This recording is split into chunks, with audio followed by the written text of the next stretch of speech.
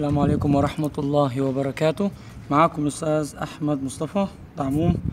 آه، في الفيديو ده هوضح فيه بعض النقاط بس للمرحلة الإعدادية.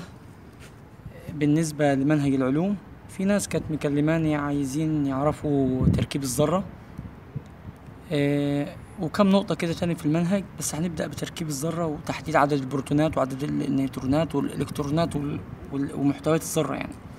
في البداية خالص لازم تكون عارف أن الذرة دي تعتبر الوحدة البنائية لأي مادة سواء كانت سائلة أو غازية أو صلبة وإن الذرة دي تتركب من جزئين أساسيين. الجزء الأول اسمه النواة والجزء الثاني اسمه الإلكترونات. النواة هي اللي تعتبر في مركز الذرة والإلكترونات بتدور حول النواة. بمعنى يعني أنا لو جيت رسمت النواة في الذرة هتبقى وضعها مركزي في النص كده والإلكترونات هلاحظها إنها بتدور حوالين النواة في مستويات طاقة معينة شكل تخيلي كده بس للذرة بإن في المنتصف في نواة وحواليها إلكترونات بتدور في مستويات طاقة طيب النواة دي بداخلها إيه؟ بداخلها نوع نوعين من الجسيمات النوع الأول يسمى البروتونات والنوع الثاني يسمى النيوترونات. يبقى معنى كده إن الذرة أساسا نواة وإلكترونات. النواة بداخلها جسيمين الجسيم الأول اسمه بروتونات والجسيم الثاني اسمه نيوترونات. يبقى أنا كده في ثلاث حاجات أساسية في الذرة في إلكترونات. وفي بروتونات وفي نيوترونات. الإلكترونات شحنتها سالبة. يعني لو بصيت على الإلكترونات هلاقيها شحنتها سالبة. والبروتونات شحنتها موجبة. والنيوترونات شحنتها متعادلة. يعني سالب وموجب وده متعادل. طيب بالنسبة للبروتونات بي بيعتبر إيه بالنسبة للذرة؟ بيعتبر العدد الذري. يعني لو حبينا نعرف إيه هو العدد الذري هو عدد البروتونات اللي موجودة في نواة الذرة. في عدد تاني نسمع عنه اسمه العدد الكتلي. العدد الكتلي هو مجموع الاتنين دول مع بعض البروتونات والنيوترونات. يبقى ده اسمه العدد الكتلي.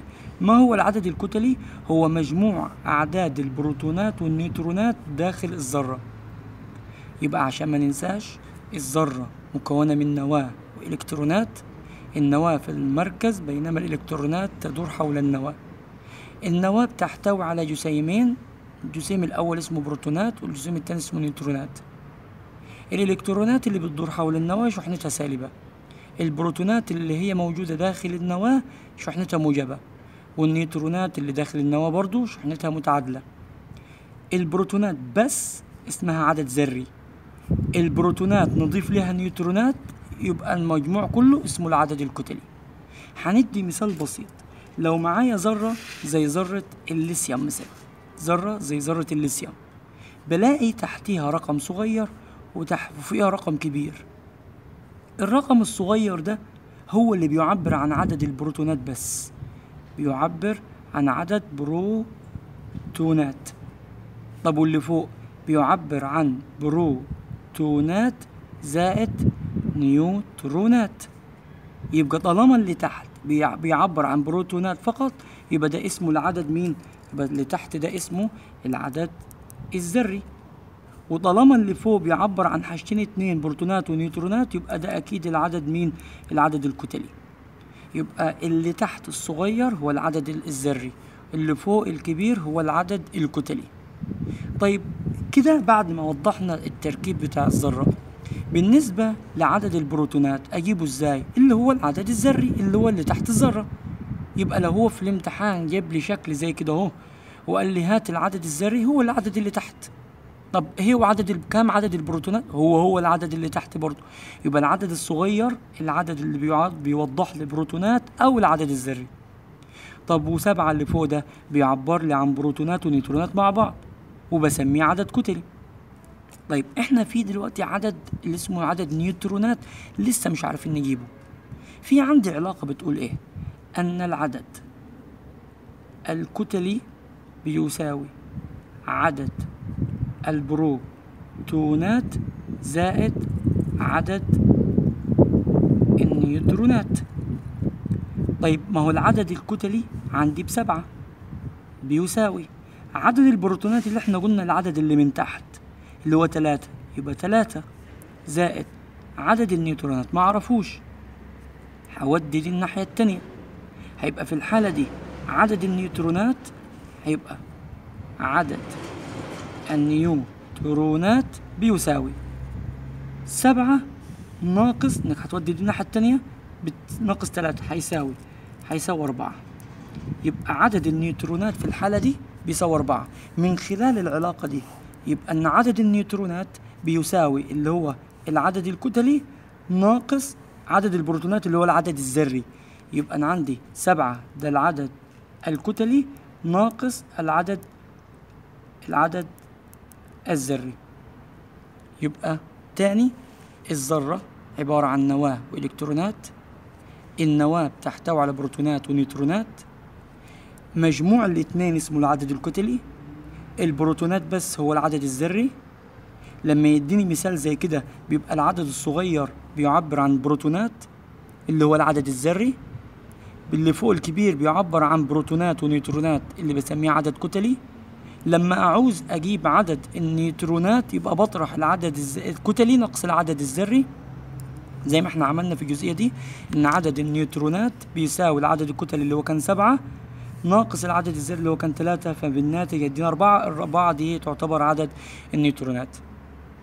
يبقى كده وضحت تركيب الذرة وإزاي أجيب عدد البروتونات وإيه هو العدد الذري وإزاي أجيب العدد الكتلي اللي هو مجموع الاتنين مع بعض بروتونات زائد نيوترونات.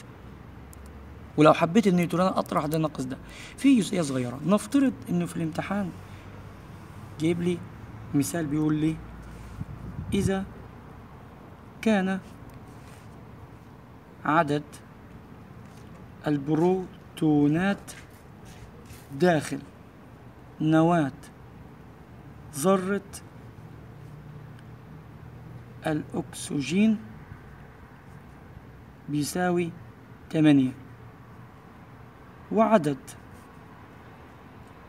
النيوترونات بيساوي برضو تمانية فما العدد الذري والكتلي